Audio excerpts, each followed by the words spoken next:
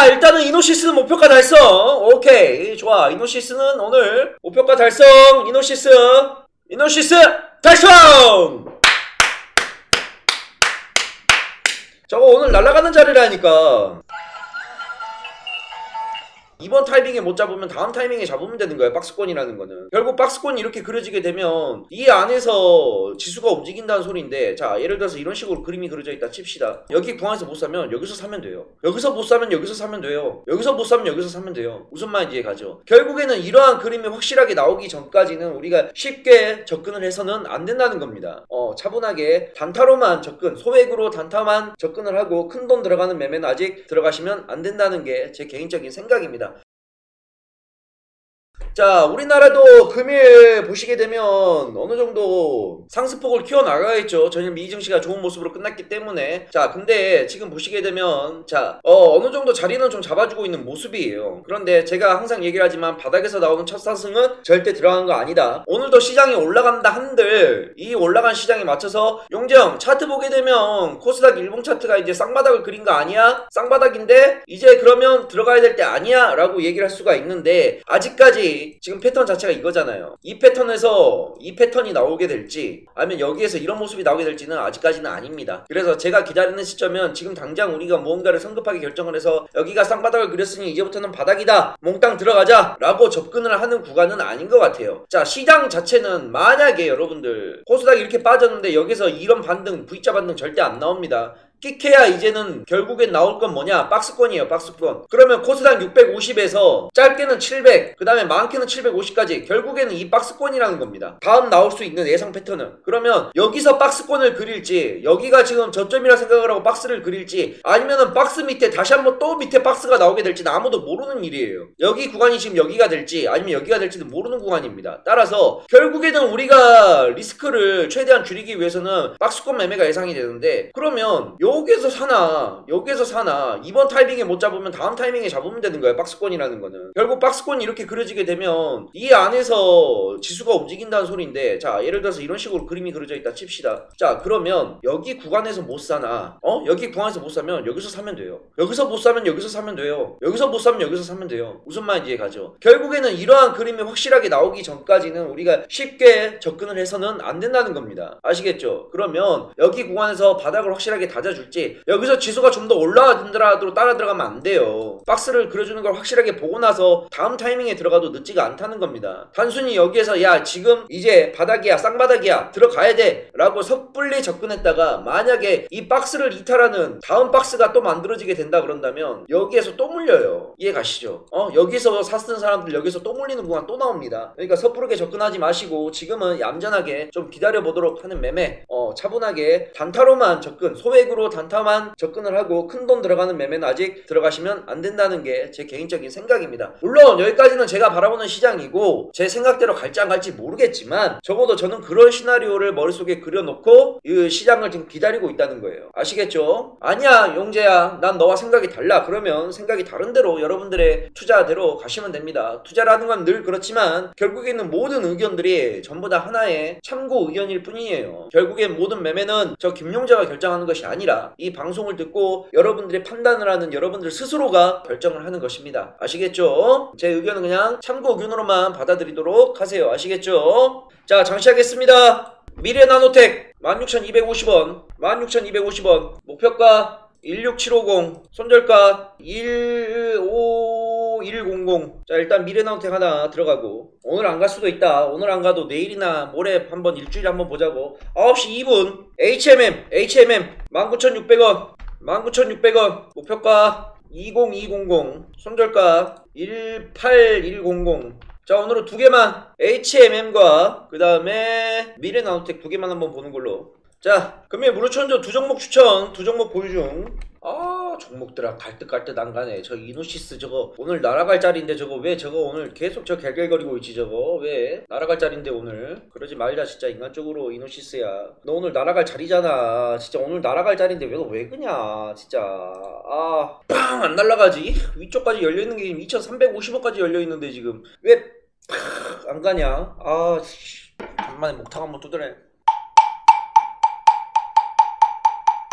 이노시스야 한번 가자 자, VIP 회원님들은 종목 하나만 들어갈게요. VIP 회원님들 종목 하나만 들어갑시다. 자, VIP 회원분은 오늘 종목 하나 나갔어요. 종목 하나 매매 들어가도록 하시고요. 너무 많은 금액으로 들어가지 마시고 적당히 들어가세요. 아시겠죠? VIP 가입 문의는 회사로 전화 주시면 됩니다. 네, 맞아요. 1년에 100만원 맞습니다. 1년에 100만원 맞아요. 자, 일단은 이노시스는 목표가 달성. 오케이. 좋아. 이노시스는 오늘 목표가 달성. 목표가 달성. 이노시스. 이노시스 달성! 저거 오늘 날아가는 자리라니까. 이거 오늘 날아가는 자리야, 이거. 그래, 금요일날 들어가 1790원에 들어간 거였어. 이노시스가 1790원부터 들어간 거야, 그지? 풍악을 울려라! 가자! 풍악을 울려라! 우!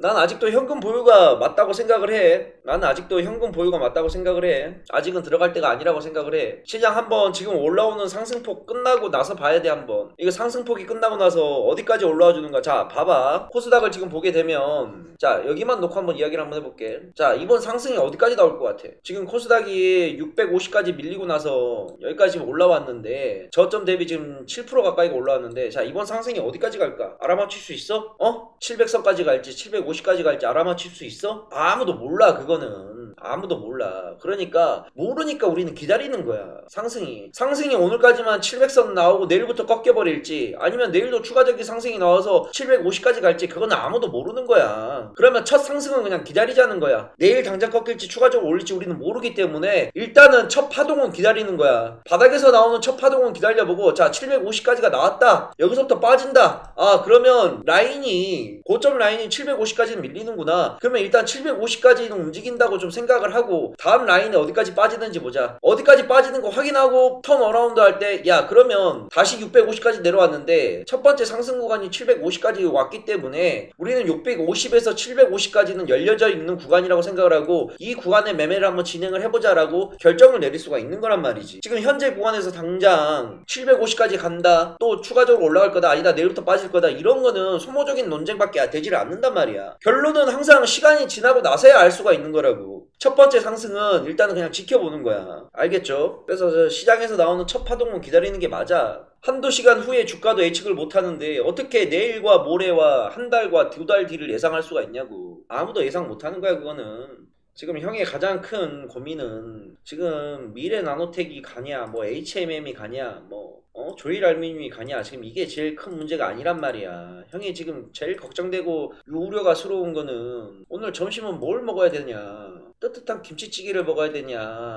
아니면은 달짝지근한 짜장면을 먹어야 되냐? 지금 형이 이게 어마어마하게 지금 고민이 된다고 주식이야 뭐. 오늘 안 가면 내일 가겠지 뭐. 내일 안 가면 모레 가겠고 주식은 걱정을 안 해요 형이. 근데 지금 당장 12시에 밥을 먹어야 되는데 오늘 점심은 뭘 먹을 것이냐? 이게 지금 나에게 있어서 가장 큰 고민이란 말이야. 주식이 뭐 주식이 올라가고 내려가는 게 뭐가 중요해? 오늘 안 가면 뭐 내일 가겠지. 지금 당장에 한 끼를 어떻게 해결해야 되느냐? 하루에 한 번밖에 찾아오지 않는 점심시간인데 이 점심시간을 어떻게 뭘 먹어야 내가 오늘 아 오늘 이 점심이 만족할 만큼 풍족한 점심을 먹었구나. 이게 생각이 드냐 이거지. 이것이 엄청난 지금 고민이란 말이야 음, 이게 딱 하루에 한 번만 오는 시간인데 뭐가 좋을 것 같냐 아 형 결혼할 때 형 결혼식 유튜브로 생중계 할 건데 그때 도네이션 열 테니까 축의금 좀 낼래?